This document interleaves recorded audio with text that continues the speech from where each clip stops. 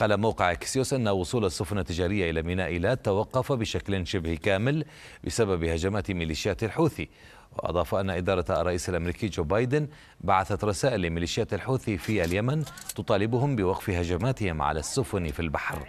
في حين طلب المبعوث الأمريكي لليمن من دبلوماسيين خليجيين نقل رسائل تحذير إلى تلك الميليشيات. وبحسب الموقع فإنه من المتوقع أن تعلن واشنطن اليوم عن قوة متعددة الجنسيات في البحر الأحمر لردعها. إلى ذلك قال موقع إكسيوس أن مجلس الحرب الإسرائيلي قرر عدم شن عمل عسكري ضد ميليشيات الحوثي حاليا. وأضاف أن إسرائيل قررت التركيز على الحرب في غزة وتجنب توسيع نطاق الصراع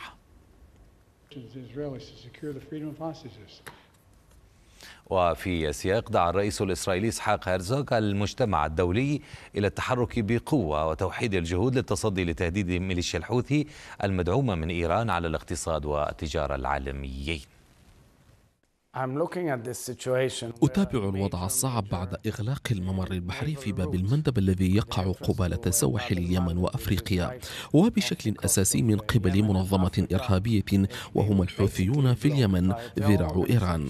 هذا مستحيل وغير مقبول. على المجتمع الدولي أن يوقف تلك الاستفزازات والاحتداءات وأن يواجه إيران بشأن ذلك ويوضح أن ذلك يمكن أن يؤدي إلى تدهور كبير جدا.